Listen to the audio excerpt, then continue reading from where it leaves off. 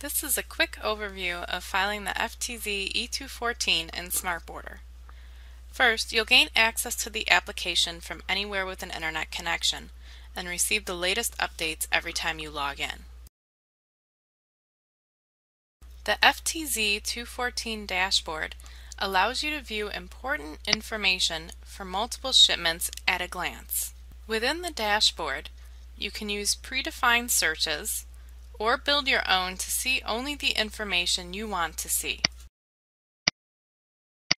The FTZ 214 is a simple, easy to use form.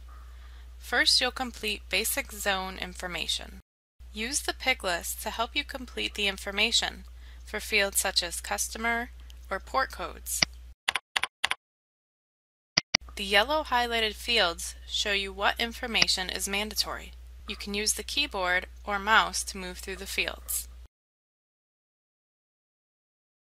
Complete conveyance and statistical information. Then add your bill of lading and product information. Within your line item, use the tariff picker to find your tariff number. Powerful validations tell you what the error is and highlight the field in red. Double-click on a validation and the system will put you to the field that needs to be corrected. Mark complete and the system will auto-transmit. Receive your responses quickly from customs, and the transmissions are stored within the transaction for you to easily view the history. Access your reports. You can save your report as data for importing into another system, print the form, add shipments to your watch list to keep an eye on them, Use your watch list as a work queue.